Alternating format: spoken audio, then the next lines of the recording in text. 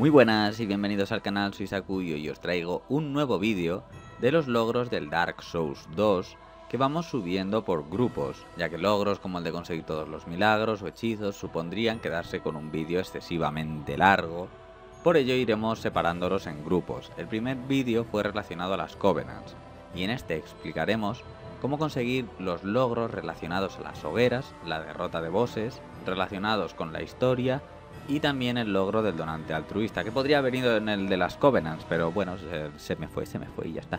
Todos somos humanos. El caso es que dejaremos para otro vídeo más adelante todo lo relacionado con los NPCs en un vídeo concreto y luego haremos los vídeos concretos de conseguir todos los gestos, conseguir todos los hechizos, conseguir todas las piromancias. Así que comencemos.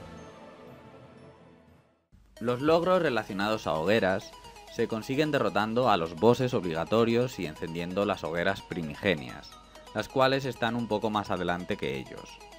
Por lo que no voy a deciros la localización de los bosses, ya que tenéis que pasar por allí, son cuatro en total. Que a ver, que está eso de que si tienes un millón de almas en la memoria de almas, pues puedes pasar directamente al castillo de pollas. Lo normal es que derrotes a estos bosses y que no estés farmeando almas como un cabrón.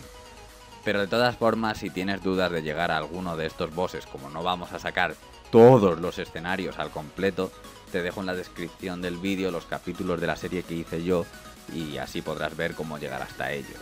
Las cuatro hogueras son Hoguera de la Pecadora, que se consigue encendiendo la hoguera que está poco después de la Pecadora.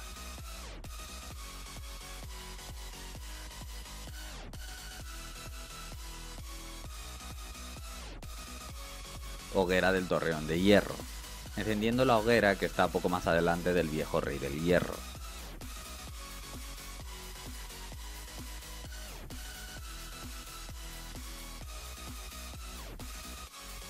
Hoguera del desfiladero, encendiendo la hoguera que está poco más adelante del podrido.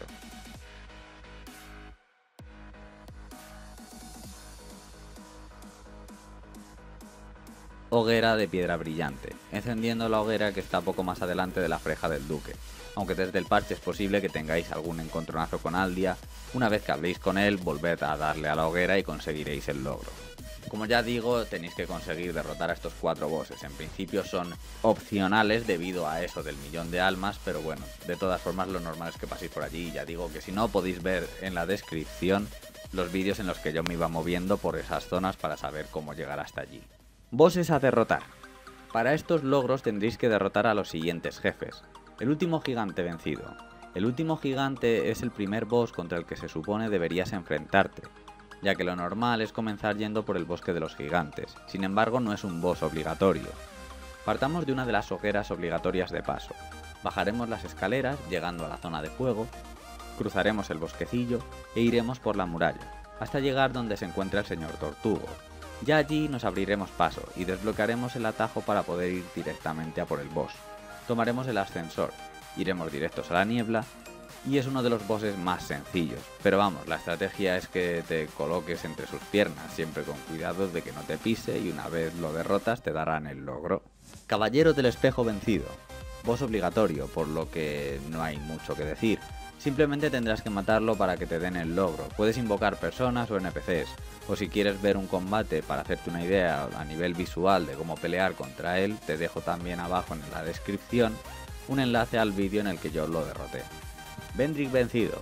Encontrárselo es obligatorio, por lo que no diré cómo llegar hasta él, pero tú puedes elegir si matarlo o no.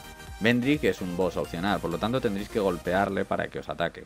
De nuevo os pongo en la descripción cómo llegué yo hasta donde estaba Vendrick. Si le golpeáis comenzará el combate. Vendrick tendrá un extra de defensa, así que cuidado, porque el combate es muy simple, esquiva y golpea, pero tiene tanta resistencia que será un combate terriblemente largo, y si cometes un error, teniendo en cuenta la fuerza que tiene estás bastante jodido. Para disminuir su defensa deberemos encontrar las almas de los gigantes y guardarlas en el inventario. La ubicación de estas es la siguiente. Tres de ellas están en los recuerdos de los gigantes, una en el recuerdo de Horro, otra en el recuerdo de Bamar y otra en el recuerdo de Hei. Derrotando al dragón antiguo te darán la cuarta. Este dragón está en una zona obligatoria de paso y tienes que hablar con él para conseguir avanzar en la historia, por lo que de nuevo en la descripción, si tenéis dudas de cómo llegar hasta él, os muestro un vídeo de cómo vamos pasando por esa zona. Pero como ya digo, es derrotándolo, porque este boss es opcional. Entonces no os hará nada a no ser que vosotros lo ataquéis. Así que tendréis que golpearle varias veces para que se enfade y a por él. La quinta alma se encuentra en el desfiladero negro por la zona en la que se encuentra Grandal. Tendréis que caer en la plataforma e introduciros en la cueva, derrotar a los gigantes y os la darán. Conseguir las almas no es obligatorio, podéis ir con una, con dos, con tres, con ninguna. El caso es que cuantas más almas tengáis en vuestro inventario, más se reducirá la defensa de Vendrick. Logros relacionados con la historia. Antiguos recuerdos. Empieza partida y créate un personaje. Esto es Dark Souls.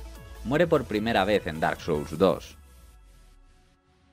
Anillo del Rey. Consigue el Anillo del Rey. Es obligatorio pasar por aquí, así que no hay mucho más que decir. Está al lado de Bendrick en la cripta. No hace falta pegarte con él. Yendo a por sus ropas lo puedes coger. Dragón Antiguo. Como ya os he dicho, es una zona obligatoria de paso.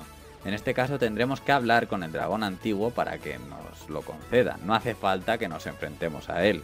Pero si lo hacemos y le calentamos para que el dragón nos ataque porque queramos luego conseguir el alma de gigante para poder enfrentarnos mejor a Bendrick o cualquier cosa, tener constancia de que si tú le pegas a ese dragón, el dragón ya se va a enfadar contigo. Por lo tanto, si no has conseguido el elemento que hace que puedas meterte en los recuerdos y le has pegado, luego tendrás que matarlo. Así que ahí veréis vosotros en qué punto queréis sacar la espada a pasear.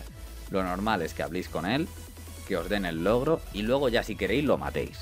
Heredero del trono, pásate el juego. Simple.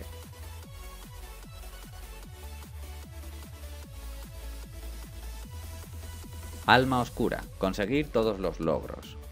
Que es lo que vamos a ver en esta guía, cómo conseguir todos y cada uno de ellos. Y luego hay dos logros más que vamos a meter también en esta lista, que son las armas supremas, que es reforzar un arma hasta más 10. Para ello usa los fragmentos, trozos y losas de titanita con los herreros. La loca de las piedras te vende también trozos y fragmentos de titanita por si tienes dudas de cómo conseguirlo, pero vamos, que para al menos subir un arma a poco que hayas explorado mínimamente, con que te hayas dado un par de volteos por el área, has tenido que conseguir la titanita necesaria. Donante altruista.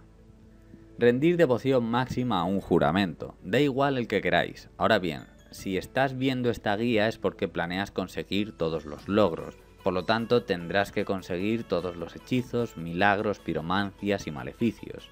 Digo esto porque hay covenants que en su máxima devoción te dan algunas de estas magias, obligatorias para conseguir todos los logros.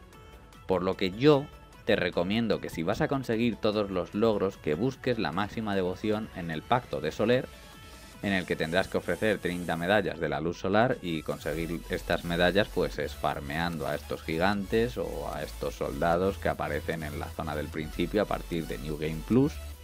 Puedes hacerlo metiendo Ascuart de la adversidad y la forma tradicional de conseguir las medallas que es ayudando a alguien como espíritu dorado al derrotar a un boss. Os recomiendo la de Soler porque os dan un milagro que necesitaréis si queréis conseguir, ya digo, todos los logros. La otra Covenant que os recomiendo también es la del Abismo, ya que debes llegar al nivel 3 en esta para conseguir todos los maleficios. Si tienes curiosidad por superar los abismos, te dejo también abajo en la descripción otro vídeo para que veas cómo se pasan.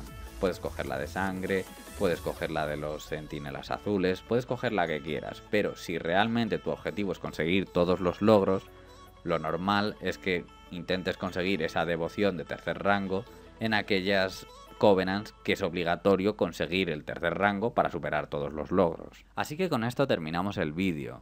En el anterior, como ya os dije, hablábamos de los logros relacionados a encontrar las Covenants. En el siguiente hablaremos de los NPCs, con Lucatiel y con el de los mapas, con el del cambio de vestido. Todos esos logros los veremos en el próximo vídeo que hagamos de los logros de Dark Souls 2 y luego haremos ya una serie de vídeos diciendo dónde se encuentran todos los milagros, dónde se encuentran todos los maleficios, piromancias, etcétera, etcétera, etcétera. Así que nada, muchas gracias por verlo, espero que os haya gustado y que os haya sido útil. Nos vemos en el próximo vídeo. Hasta luego.